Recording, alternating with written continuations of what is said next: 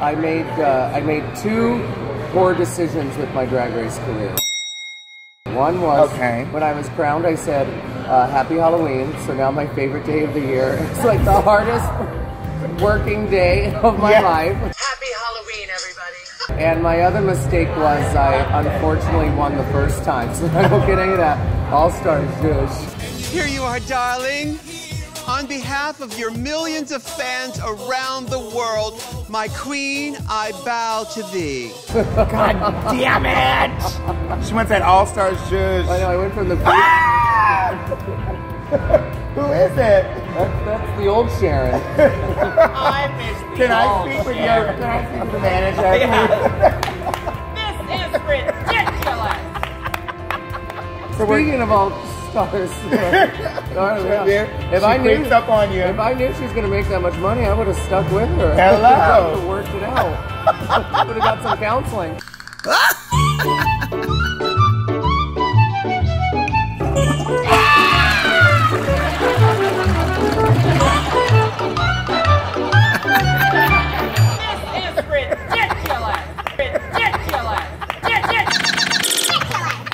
and gentlemen, welcome to another edition of Pep Talks. I'm here with the fabulous, fabulous, legendary, gorgeous, uh, unique, so Spoopy. spoopy, and so intelligent Miss Sharon Needles.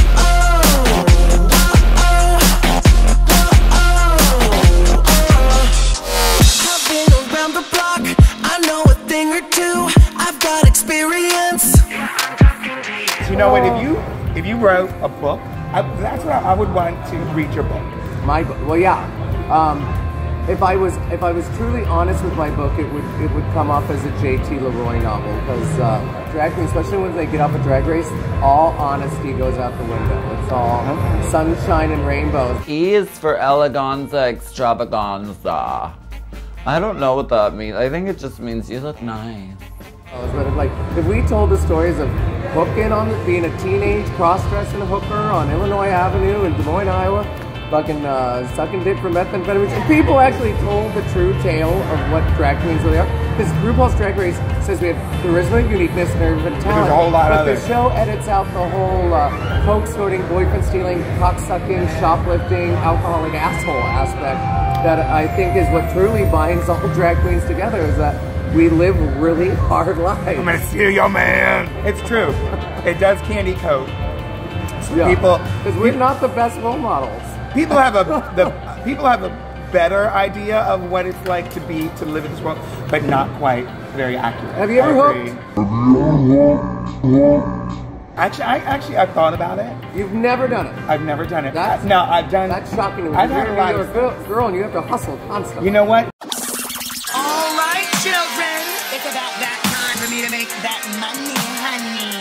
Real talk. It was something that I really struggled with because there was a moment in time before, obviously before I got on Drag Race, that I said, okay, I want to continue my transition. You could have went to Lucky Cheng's and after midnight in the basement, well, I could have. But I knew I for me, it just I wanted something a little bit different. And I and I was a little bit resentful at the theme of sex work because I felt like it was the only thing the only option I had. You kind of can fall into it because like casual sex can be such an easy well, thing Well, it's and not then so much the money either. It's also the attention of being Yeah. desired. You know? Yeah, there's a it's Like you like me enough that you paid for it. Oh my God.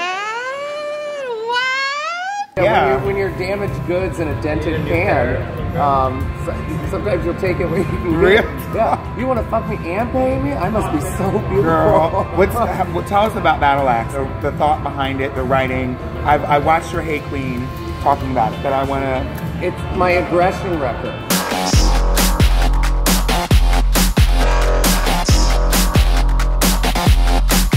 There's an aspect of this job that is so aggravating and uh, stressful and hard, and and it's our job to go out on stage and entertain tons of kids. But then if you if you flip the camera and look at what the audience is seeing, they're seeing a very lonely, overworked human being. Under, underslept. Right. Yeah, and I, I think drag queens tend to make very happy, uh, uh, music, and I just wanted to be a little more honest, so I could use the stage as my punching bag.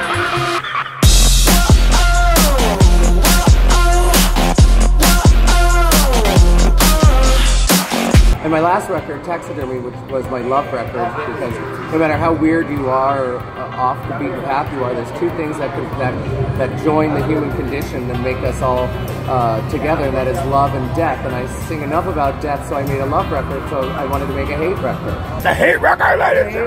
You have to. I, you already have it. I, I'm watching this, the kids. They know every word already. You know, it's fantastic. And I'm really, I'm proud of you. Well, thank you, thank you, thank you, thank you. So, And your music career as well.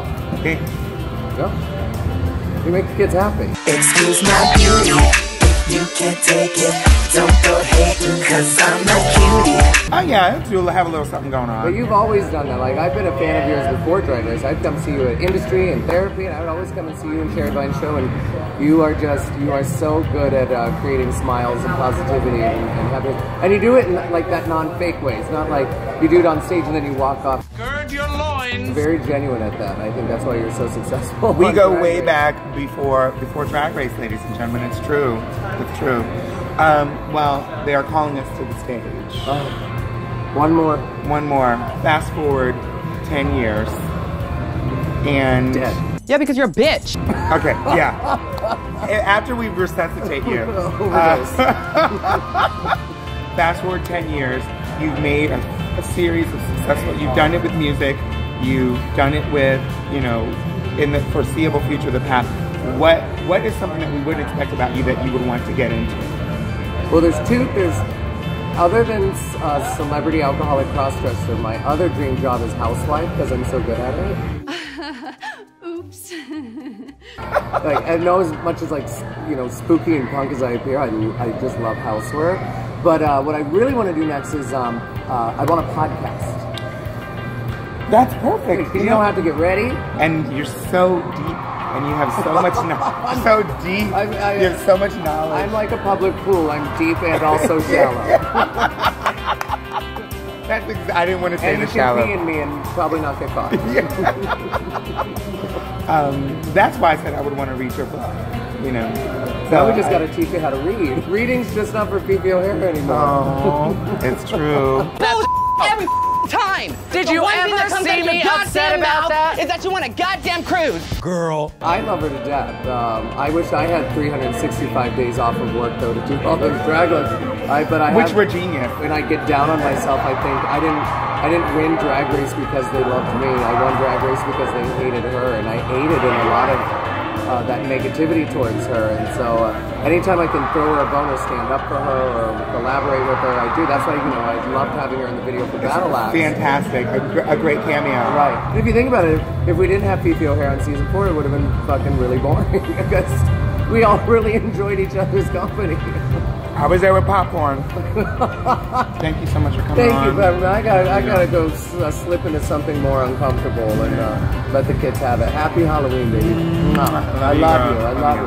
And even though Peppermint did not win the coveted crown of uh, season nine of RuPaul's Drag Race, she is the proud owner of two Golden Globes. Thanks.